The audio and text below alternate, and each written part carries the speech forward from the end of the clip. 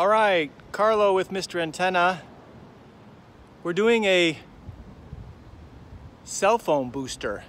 The customer is having some problem with their T-Mobile service. Um, and we're gonna install a cell phone booster on this house. Start with the outdoor antenna. Um, here's the house. And we're gonna locate the antenna on the right-hand side of the building, right-hand side of the house. I've already got it kind of installed already. Let's walk over here.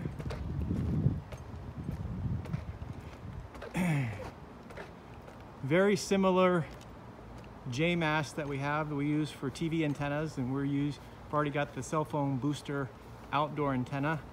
Uh, the brand here is called WeBoost. Um, this is kind of the area, this side of the house that is, is where they want better cell service inside.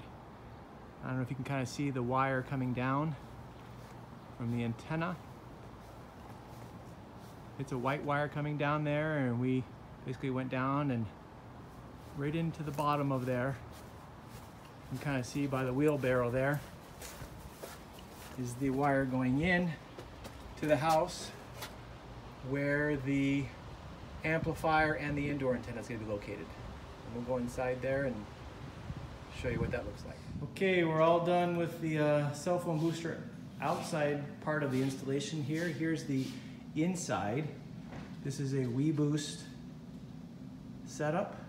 You can kind of see the amplifier there. And then the indoor antenna is right there. We went from one bar inside the house to three bars.